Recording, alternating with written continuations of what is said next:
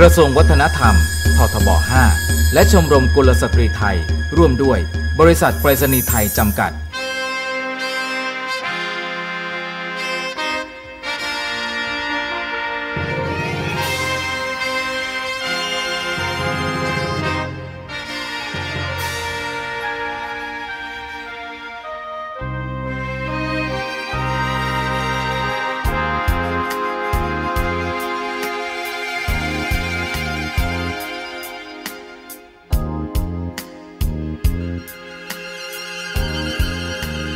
สวยสมไทยสมใจแม่แห่งสยาม แม่ผู้งามน้ำพระไทยแผ่ไพศาลแม่อุทิศสองพระกรทรงการงานเคียงข้างขวัญพระผู้บานงานของชาติเพื่อประชา โลกเห็น เด่นแท้แน่ใจ ร่ำเลือระเบือชื่อไกล คือผ้าไหมไทยงามจับตา เด่นชัด วัฒนธรรม เลิศล้ำภูมิปัญญา งานแห่งศิลปาชีพไทย ทรงจันลงไว้ ด้วยหัตถ์ไทยรักเมตตา สร้างคุณค่า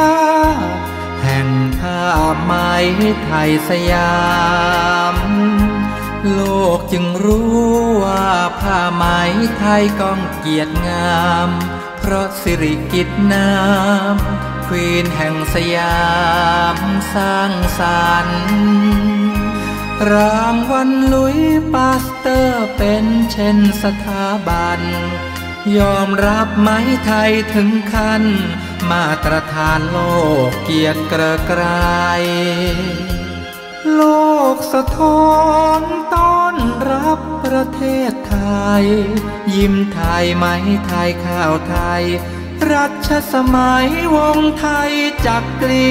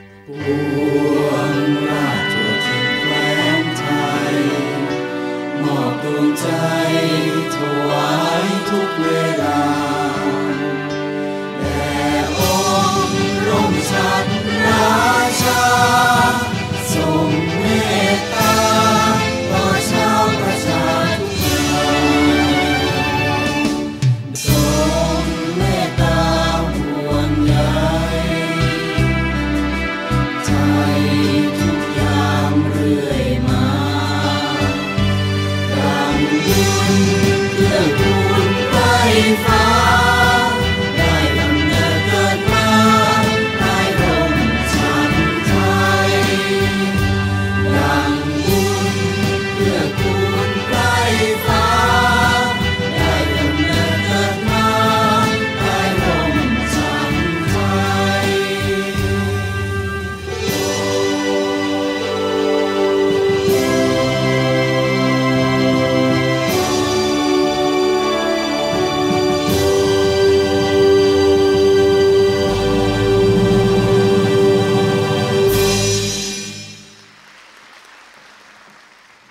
วัสดีครับ สวัสดีค่ะ ครับ สวัสดีแขกผู้มีเกียรติทุกท่านนะครับ แล้วก็คุณผู้ชมทุกท่านที่อยู่ทางบ้าน แล้วก็ผู้ที่อยู่ในศูนย์ประชุมใหญ่ ศูนย์วัฒนธรรมแห่งประเทศไทย วันนี้ผมดอมเหตระกูลครับดิฉันอริสลากันทรเจริญค่ะ เชื่อว่าหลาย ๆ ท่านพอได้ยินชื่อโครงการในปีนี้นะคะโครงการสรรหากุลสตรีไทยประจำปี 2553 อาจจะมีคำถามในใจเหมือนกันนะคะว่าที่มาที่ไปของโครงการนี้เป็นมาอย่างไร ในโอกาสนี้ครับ ผมขอเรียนเชิญ คุณนิชาดา นาคสุวรรณตัวแทนจากชมรมกุลสตรีไทยขึ้นมากล่าวรายงานการจัดโครงการสรรหากุลสตรีไทย 2553 ครับ ขอเรียนเชิญครับ โครงการสรรหากุลสตรีไทย 2553 ได้จัดขึ้นโดยมีวัตถุประสงค์ เพื่อเป็นการส่งเสริมและพัฒนา ศักยภาพของผู้หญิงไทย ให้รู้จัก และเข้าใจในแก่นแท้ และสาระของคำว่ากุลสตรีไทย ดิฉันขอเรียนเชิญท่านผู้ช่วยรัฐมนตรี กล่าวเปิดงานโครงการสรรหากุลสตรีไทย 2553 ขอกราบเรียนเชิญด้วยค่ะ ก่อนอื่นผมต้องขอแสดงความชื่นชมคณะกรรมการจัดงาน ตลอดจนหน่วยงานที่เกี่ยวข้อง ที่ให้ความสำคัญ และเล็งเห็นคุณค่า ในการส่งเสริมและรักษาไว้ซึ่งขนบธรรมเนียมประเพณี